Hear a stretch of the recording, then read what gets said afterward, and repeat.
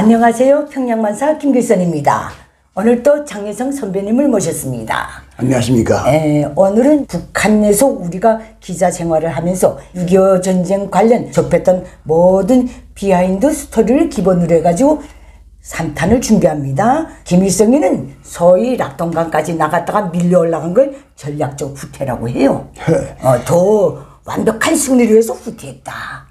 전략적인 후퇴가 아니라 또 쉽게 말하면 쫓겨서 들어갔던 거죠. 쫓겨 들어갔죠. 예, 전략적 후퇴 과정에 일어났던 그 모든 사건들 우리가 알고 있는 것 후퇴에 드- 들어가서 그다음에 장진호반에서 어떻게 전쟁이 그 저게 유행으로 완전 포위됐잖아요. 그렇죠. 그 중국이 나와가지고 예, 예. 그그 일. 그런 어떤 사람들이 장진호반 전투에 대해서 물어보는 분들도 있더라고요. 예. 근데 나는 어, 사료로만 봤지 구체적으로 선배님처럼 모르거든요.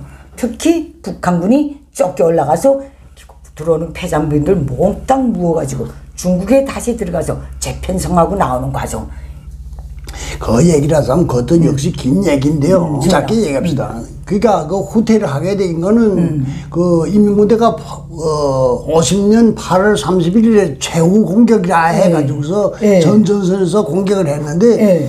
원래 공격이라면 그 한쪽에 있는 부대를 방어를 시켜놓고 거기서 많은 인원을 차출해서 다른 전선에 가서 그 집중해가지고 하는 게 그 공격입니다. 근데 그때는 이미 인민군대가 그럴 형편도 못했어요. 더금 너도 없이 거기까지 예. 나가다 나니까. 그런데다가 더구나 인민군대가 총 진격에 나간 게 그래서 한 10만 나갔는데 그 낙동강 좌안에 그 배치된 그 국군하고 미군이 10만 거의 1대1로 지금 들어왔단 말이에요. 그런데 그 미군과 그다음에 국군이 무장 장비는 민군대에 비해서 말할 수도 없이 제공권을 다 가져가. 제공권 다 해상권을 다 가져가. 그 융단 폭격이라는 게 그때 나왔단 말입니다. 가장 예, 미군이 무지하게. 그 폭격하더래요. 폭격하는데 그래도 그 김일성이 이 무지막지한 인간은 최후 공격하라 해서 31일 날에 최후 공격을 했는데 육산 구체적으로 마산 그까지 나갔대요. 방호사이가 사단장을 했는데 나가서 공격하려니까 미군이 딱 좌표를 정해놓고서 들포사격을 하는데 거기서 대대 한 절반 어, 사망했대요. 그러니까 공격할 부대가 있어야 공격할 게 아니에요.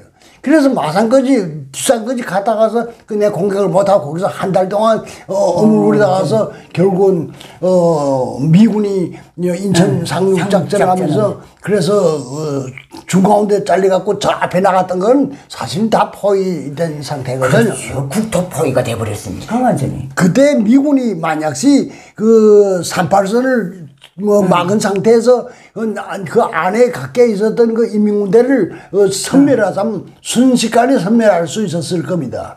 그런데 그게 아니고 어, 국군이 먼저 38선을 넘어서 북한 쪽을 쳐들어가기 시작했거든요.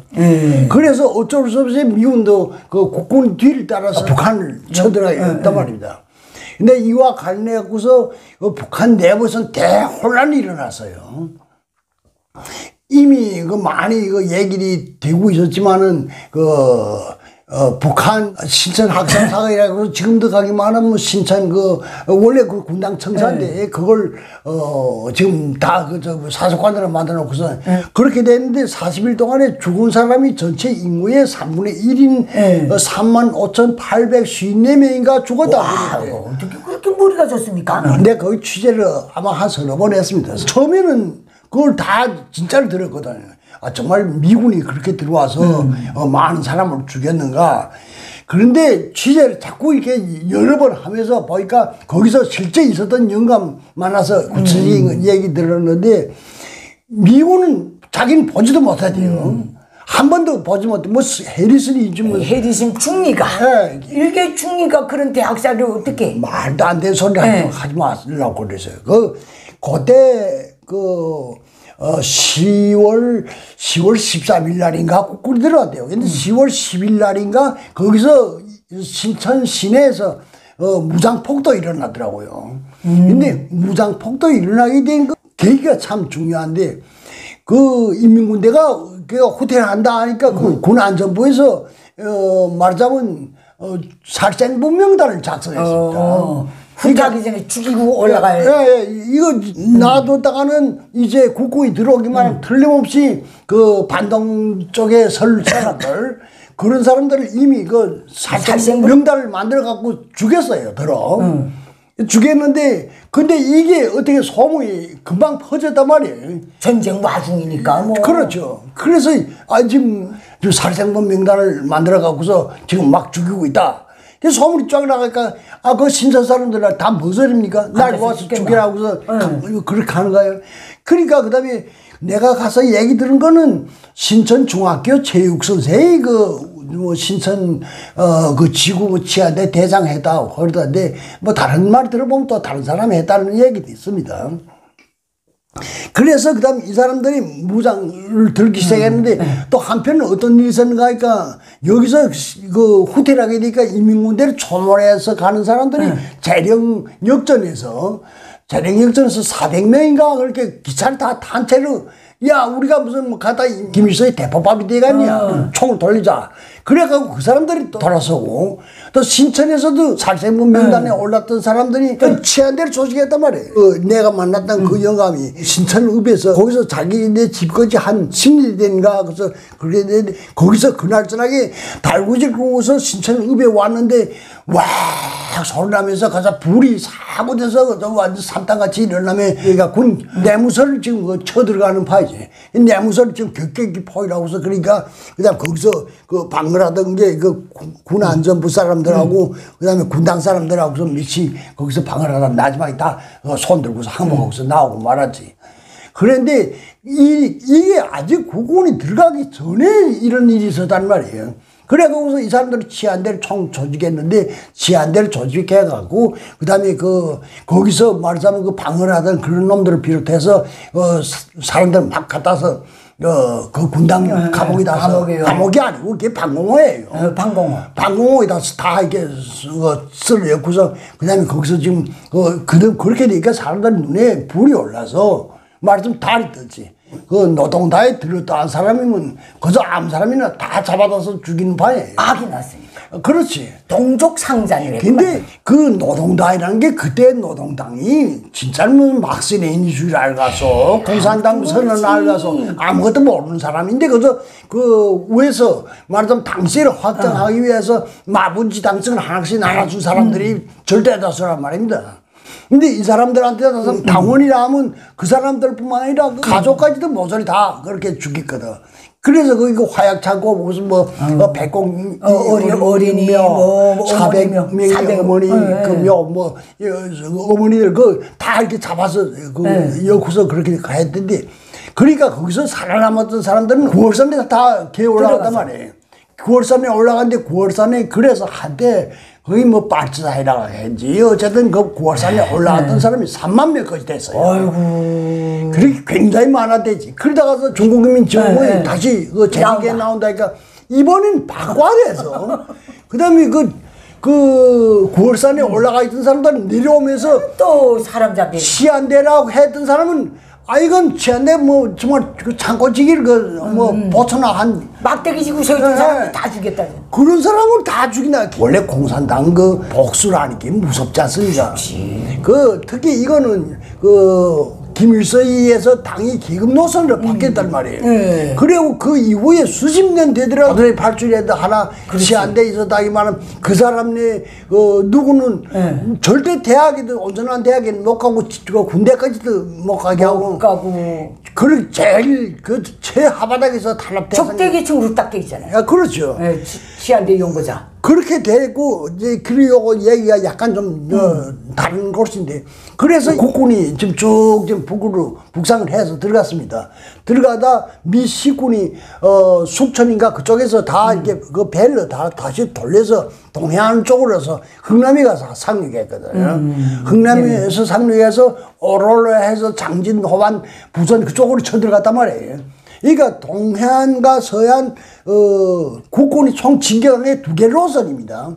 하나는 서부전선으로 이자기 희처의 전천 강계 신의주까지 거쳐서 들어간 걸로 알고 신의주는 안, 아니 못 들어갔어요. 그 독림까지만 독림까지 들어가고 어 신의주는 가지 못하고 이짝에 서부전선 들어간다 부대가 어느 부대인가 그 저기 뭐 초산이라는 데가 초산이 딱 압록강하고 붙어 있는데 예, 중국과의 문제 때문에 예, 거기가 초산까지 예. 갔던 부대가 있습니다. 예. 근데 김일성이 그때 어디를 도망쳤는가 하니까 강계에 갔거든요. 강계에 갔댔어요. 저 강계 갔다 그다음에 어, 고산진에 갔는데 강계에서도 고산진이 한창 멉니다. 한한 200리 거의 될 것 같은데 고산진에 그 만포에서 한 60리 되거든요. 예. 근데 고산진에 그 최고 사령부라고서 지금 거기 가서 있었는데 어, 고산진에 가 있을 때 그, 그 뭐야 김일성이 그 들어갔던 거기 우방 이게 바깥에 보초를 서던 영감을 내 만났습니다. 예. 어, 고산진에 가니까 그 영감이 그 사적지 어, 관리원? 관리원 하더라고요. 아, 연구자니까. 그 그렇죠. 그 영감을 만났는데 그 영감이 뭐, 뭘 얘기를 하는가 그러니까 박헌여하고 그때 박헌여 위무상했거든요. 예. 김일성하고 재떨리 집어당기면 던집에서 싸움하더라. 왜 싸움하던가? 그러니까 그 구체적으로 물어보니까 먼저 김일성이가 박헌여한테 얘기를 하는 게 남조선에 밀고 나가기만 하면 100만 명이 그 노동자들이 들고 일어나서 우리를 도와줄 거라고 그러더니만 100만 명은 고사고 한 명도 들고 일어나서 도와주는 건 못 받다. 어떻게 된 기가? 그러니까 박헌여가 한다는 얘기가 그게 46년도 9월 대구폭동, 네, 네, 그다음에 48년도 4월 달에 어 제주도 그 투쟁, 네, 투쟁. 그다음에 한, 그 려수군인 항쟁. 네, 이거 전에 일이지. 이거 일어나서 거기서 있던 사람들 다 감옥에 들어가자 했는데 누가 들고 일어난단 말인가? 어, 맞죠 그것도. 그러면서 박헌여이가 그 김일성한테 욕질하는 거, 야, 이 새끼야, 너는, 어, 둘이 이 새끼, 저 새끼 하는 뭐네. 야, 이 새끼야, 너는 뭐, 다 그, 저 뭐야, 군대들은 나가서, 최전선이 나가서, 량동안에 나가서 피를 흘리면서, 어, 죽어 자빠지는데, 너는 저 예민해 죽었다고 해서, 어, 젊은 여자, 그 저기 뭐야, 성, 성애를 데리고서 아 그래 그 수작진 나고서 그러는가 그러니까 그 말에는 김일성이 아무 말도 못하더니 그러니까 재떨이를 들어가서 이 개새끼는 네 같은 게 무슨 수사이냐 하고서 그 싸움하더래 어 바깥에 보철 선산 저게 그저 순순히 끝나지 않겠구나 아. 그때 벌써 약간 생각을 했는데 과연 얼마 가지 않아서 52년도 12월 전원회인가? 그 전원회 이후에 남조선에서 들어온 남로당은 뭐그 리승엽이 박헌영이 이강국이 가장 그 제일 처음에 그 어 제일 높은 사람들 하더니만 그다음에 그 남로당에 들었다는 사람은 그저 다저 모전 다그 쑥대밭을 만들어 놓잖아. BJ 고용 간첩이라는 예. 타이틀을 딱 붙였잖아요. 근데 아무튼 간에 요거 요렇게 돼서 들어갔는데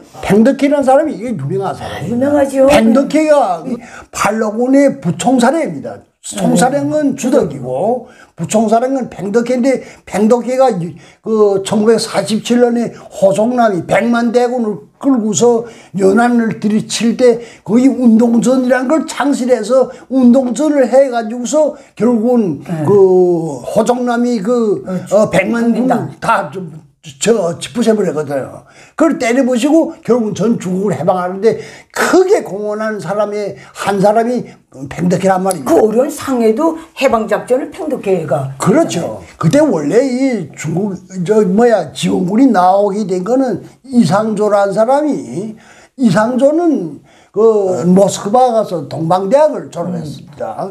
그리고 그 연안에 와서 그 어, 김두보이 만들어 놓은 네, 네. 조선 독립동맹에서 거기서도 한 자리 단단히 했고 특히 이짝에 조선 의용군이라는 거 조직했는데 의용군 사령은 무서이 됐지만 거기에 지대장으로서 이상조가 있었습니다. 예예예.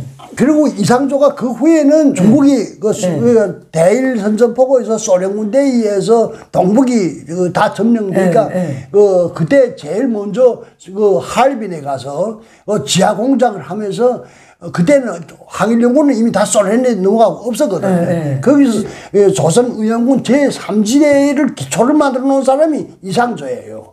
그리고 이 사람은 그러니까 연안에 오래 있었기 때문에 연안에서 모태또이 주덕이 주운이 뭐다 잘 알거든. 연안이라는 건 중국 공산당 본거지였어요. 본 거죠. 본 거죠. 밀서이는 실제 그 모태또이랑 이 사람들은 잘 모른단 말이에요. 자기는 동북에서 어물럭거렸기 때문에. 그래서 이상조를 시켜서 그때 이상조가 상업상을 했습니다, 원래. 음, 상업상. 상업상을 하던 사람을 다시 북한군 부총참모장으로 그 명색을 달아줘 갖고서 좀 중국에 들어가서. 얘기하라. 얘기해서 지원을 좀 빨리 달라. 예. 그래서 이 사람이 8월 달에, 8월 달에 이미 들어갔습니다. 8월 말에 그 김일성의 총진군 명령을 내릴 때 이 사람은 그 뭐야 빨리 들어가서 저 지원군 좀 달라. 이게 못했다니까 뭐라겠는가 그러니까 너네 지금 전선이 지금 어떻게 되냐. 그래서 이 이상조가 얘기를 했단 말이에요. 지금 그 락동강이 나갔는지 한 달 됐는데 지금 밀고 당기고 밀고 당기고 이거 지금 언제 끝이 날지 모르겠다. 이거 빨리 좀 저, 저 지원군을 내보내달라. 그러니까 못해도니까 무릎을 철렁 치면서 야 이 새끼들아 너네 정신 있냐? 그러다서 미군이 중가운데로 와서 북한으면 너네 어떡하려고 그러는가? 호위해버리면. 예, 어떡하려고 그러는가? 그래서 이상조가 그때 그 못했다 뭐 지원군 단락해놓고서 나와서 김일성한테 그 말을 그대로 전했어요. 전하니까 그 김일성 이 돌머리 같은 사람이 무성 장군하고서 그 싸가지 한 얘기는 그 예, 얘기예요. 예. 우리 그, 그저 어떻게 나갔는데 그 못했더니 그 영감이 말이야 캐피탈도 몰라면서 그저 다시 호텔에서 들어와서 38선 지키라고 그러냐. 근데 그 말 떨어지자 불과 며칠 되질 않아서 그 메가더의 상륙작전이 상- 인천 상륙작전이 어, 어, 있었단 성공한 말입니다. 그런데 이렇게 된 건 된 거고 그 다음에 그 원래 이저 중국에서 지원군을 보내달라 달라니까 보내주겠다고 안 했어요. 다 음. 그래 주덕이도 그래 다 이건 이건 좀 어렵다. 그리고 저 중국으로서는 당면하게 대만을 좀 해방하는 문제가 네, 어, 지금 초미의 문제로 제기됐거든요. 그래서 대만 우린 대만을 해방해야지 언제 지금 그걸 할 수가 있는가? 그 전에 대만 해방하기 전에 금문도라는 거 있고 마조도라는 거 있고 예, 예, 그 멀잖아요. 근데 금문도를 칠려다가서 9천 명이 죽, 운대가 죽었어요. 그래갖고서 어이 소련 군대 보고서 좀 비행기 항공물에 좀 도와달라. 그래갖고서 다시 치겠다. 그렇게 하는 차에 지금 좀 조선반도의 파병 문제가 제기됐거든. 그런데 이걸 누가 뭐야 지지를 했는가 하니까 끝까지 했는가 하니까 못했다 이가. 그 도와주자. 그 뭐야 우리가 처음부터 도와주겠다 했으면 어, 도와주는 게 옳지. 스탈린은 그 비행 상계 사단 주겠다 해놓고서 그 거짓말 쳤단 말이에요. 미군이 무서워서 그 솔직히 말- 말하면. 그리고 그다음에 못했다가 그러면 어 빨리 저 뭐야 그 우리 침양군구에 있는 부대들을 먼저 내보내라. 그래서 침양군구에 있는 거 30만을 이미 준비했던 거 그거 내보냈는데 그걸 팽덕회가 데리고 나왔죠. 나오면서 아까도 얘기했습니다만 그 북한을 미군하고 국군이 쳐들어가게 게 서부전선을 한 개 부대, 동부전선 한개 부대, 이거 장진 호반 쪽을 한 개 부대. 이게 가운데가 지금 텅 뺐단 말이에요. 가운데 이- 이게 원래 전략 전술상에 이게 맞질 않답니다. 그, 그런 그 호위당할 확률이 높기 때문에. 그렇죠. 가운데로 지금 그 팽선생이 그 치고 나왔지. 치고 나와서 그다음에 양캔을 어, 이게 저, 저 막아놓으니까 그다음에 저그 장진 호반에 들어갔던 사람들이 실질적으로 총에 맞아 죽은 것보다 얼어 죽은 사람이 많죠. 얼어 죽은 사람이 많다고 그래요. 근데 거기 그 중국 인민지원군 제 25군이 거기 투입되는데 어, 난 그 옛날에 그 책들을 좀 본 기억이 있어서 근데 양근사라는 영웅 생각이 나는지 모르겠는데 용화도 있을걸요. 어, 용화 있어요. 예. 양근사를 비롯해서 예. 거기서 그 장진 호반에 가서 중국 인민지원군이 미국보다 더 많이 얼어 죽어요. 자기네는 다 산꼭대기를 찾아오고 있으니까 산꼭대기 바람이 더 세지 산 밑이 바람이 더 세가 나요. 글쎄. 꼭대기에서 다 얼어 죽면서 그 어쨌든 그 용화도 그랬는데 있어? 그 바람에 이 뭐야 미군이 예. 그저 뭐야 그거 좀 쳐들어가다서 이거 안 되겠구나 해서 다 도망쳐서 흥남을해서 다 내떼고 말았죠. 김일성 이 염치도 없는 사람이 김일성이 그 중국인민지원군 총사령을 자기한테다 맡겨달라. 아, 예. 팽대기가 지금 하는데, 아, 그 자기가 작전을 그 개뿔같이 그걸 해가지고서, 그래서 다 개박하게 예, 만들어놨는데, 그 총사령을 자기한테 달라고서 계속 저 했는데, 그게 중국이 줄 게 뭐예요? 줄 게 뭐야, 당초에. 안 주지. 아, 그래서 결국은 거기서 설티각티각 많이 했다고 그래요. 그래서 그 그때 그 중국인민 지원군 사령부가 저 평안남도 해창군 그 성공항산 거기가 있었는데 사실 심심산골이에요 거기가. 난 거기 몇 번 가보고 그 모태토의 아들 모한영이 그 묘지도 있는데 거기 그 연합 지휘부라게 놓고 연합 지휘부 무슨 연합 지휘부? 기본은 저 중국 팽덕회가 다 이제 작전하고 어, 조선인민군단은 거기서 약간 남아서 그 천양백 11고지 여기서 예, 말하면 예, 예. 김일성 고지 그 동쪽을 인민군대가 맡고 그 서쪽은 서쪽이 훨씬 전선이 넓은데 그쪽은 다 이거 중국인민정권이 그 맡아서 그렇게 했는데 거기서 진지방어전을 하면서 3년 동안 끌다가 결국은 전쟁 끝이 났죠. 김일성이는 자기 잘못을 인정 안 하는 놈. 그러니까 무서운 사람이에요. 에, 자기네가 낙동강까지 나갔다가 부득불 후퇴하게 된 것도 소련 때문에 그렇다고 그러고. 그 원래 그 사람은 항일 무장 투쟁 시기부터 그런 짓을 많이 했어요. 예, 그러니까 그, 그 김일성이 전쟁 청와할 때마다 그러잖아요. 소련이 약속한 10만 정의 아식보총을 보내주지 않아서 후퇴하게 됐다. 비행기를 지원해주지 않아서 후퇴하게 됐다. 또 중공에 대해서도 계속 더 밀고 나가야 되는데 고착시켰다. 예, 예. 계속 욕을 하잖아요. 맞아요. 그러니까 이, 이 상황에 김일이가 끼어들어요. 예. 김일이가 그 포위당한 다음에 여느 패잔병들하고 같이 그 저 동부전선의 홈산을 타고 바로 이 고산진 사령부로 들어가거든요. 그때 최고 사령부 안에 소련 고문들이 있었거든요. 그럼요. 군사 고문들이. 근데 그때 김일이가 시험도 못 가서 더부룩하게 기르고 군복도 못 입고 다 깨진 엉뚱한 옷 입고 갈아입고 거기 왔대요. 숨느라고. 그래 가지. 예, 가니까 김일성이가 보자마자 김일을 쏴 죽이고 싶었겠지. 서울 방어 사령관으로 내보냈는데 골동품 장사만 했다니까 김일성이 말이에요. 하면 말도 안 돼서 거기서. 무슨 골동품 장사 나갔어요. 그러니까 이제 그 저게 그 그날서 냈다 욕을 하고서 어 저 미군 황초룡 넘으면 상진으로 들어가는 것 같아요. 예, 그 맞아. 잘루목이라 그러더라고요. 예, 예. 거기 그때 6.25 전쟁 개시할 때 36대 땅구 중에서 최고사령부 예비로 남기는 탱크 두 대를 주면서 황초룡을 막아라. 자기가 내보냈다는 거예요. 그래서 김일이는 면도도 못하고 모욕도 못하고 밥 한 끼 못 먹고 탱크 두대 갖고 또 갔다는 거예요. 그때 소련 고문들이 그 김일성이 최대의 자랑이에요. 소련 고문들이 당신들 조선 공산주의자들 특히 한일 투쟁한 당신들 조선 빨치산들은 정말 의지가 강하다고 감탄했노라고 자기 보고 계속 말하잖아요. 어, 김일성이 그 저작선 집에서 몇 번 그런 말을 네. 본 생각이 나는데 아, 김일성이 지가 잘못한 건 어쨌든 다 알았어.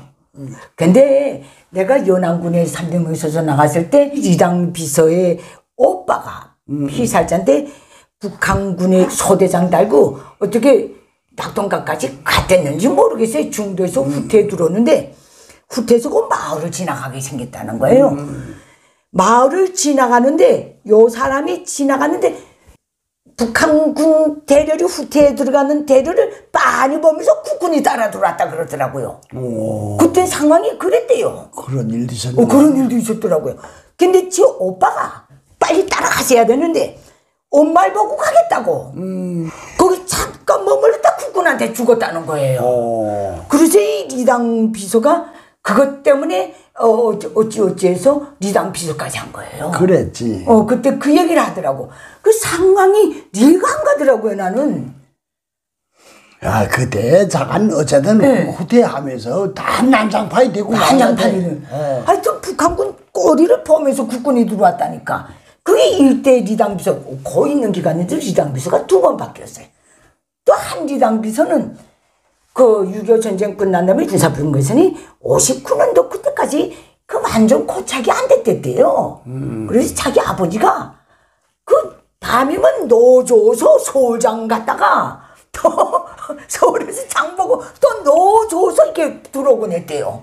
그러다가 어느 시점에서 어, 미군의 총에 맞아 죽었대요. 저런 요것도 피살자가 돼가지고 요것도 당일군으로 뻗은 거예요.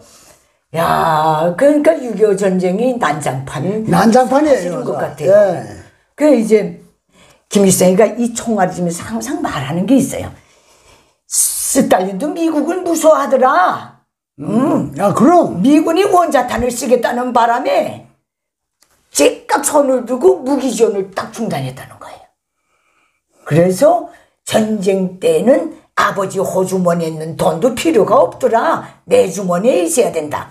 그래서 6.25 전쟁 끝난 다음에 정말 50년, 60년 넘어가는 기점에서 원자탄 때문에 너무 혼이 나서 원자탄 개발 프로젝트를 가동하고 70년대에 들어서 북한 전역의 군수공장들을 지하에 걷어놓고 키우고 인민경제에서 떼내가지고 군수경제 위주로 나가는 기형경제를 이때 다 닦았거든요. 맞아요. 그런 것 같아. 네, 이렇게 됐거든요. 근데 이 낙동강에서 후퇴할 때 북한이 자력갱생이 슬로건을 내걸 때, 어, 그 뗏목을 타고 낙동강을 건너던 정신으로 집신 싣고 낙동강 진펄길을 건너던 정신으로 항상 이렇게 말하잖아요. 예. 그러니까 낙동강에서 혼나긴 혼난가도. 혼나는 정도가 아니라 음, 그 내가 직접 전투에 참가한 건 아니지만 우리 동네 사람들 많이 6.25 전쟁에 참가했다고요. 구체적으로는 내 고향이 중국 길림성 화령리 부도고 온데 근데 이 우리 동네에서 어쨌든 아래 동네하고 동네 합해서 율사령 묘지가 있는데 이게 70명이 인민군대에 나왔다가 3명이 살아 들어가고 다 죽었어요. 그러니까 실제 6.25 전쟁이 정말 어떻게 보면 중국에 있는 조선족 사람이 더 많이 그 피해를 봤다고 예, 피해를 김일성은 전쟁 할 능력도 안 되고 야망만 하나 커가지고 그리고 전쟁 기간에 남들은 나가서 지금 랑동에서 나가 죽는데 자기는 어디서 그 어린 체내 아이를 데리고선 어, 결국은 저 임신시켜 갖고서 그래서 결혼까지 했잖아요. 그 예. 그것 때문에 이민구대에서 말들 많았다고요. 예, 사람들. 그때 빠지산들도 그렇게 김일성이한테 충고를 했다 그러더라고요. 옆에서. 당신 그러면 안 된다고. 안 되지. 그래놓고 자기한테 의견을 부린 사람은 그게 다뭐 정파분자야 뭐 때리자고. 해서 다, 다 쳐내버리죠. 예, 여기서 이제 후퇴까지. 예. 요거를 이제 일단락을 짓겠습니다. 예. 예, 4탄이 되겠는지 3탄 되겠는지 하도 열정적으로 하다니까 순서가 헷갈렸어요. 예, 예, 이, 이, 이 주제 스토리는 여기서 마치도록 하겠습니다. 감사합니다. 안녕히 계십시오.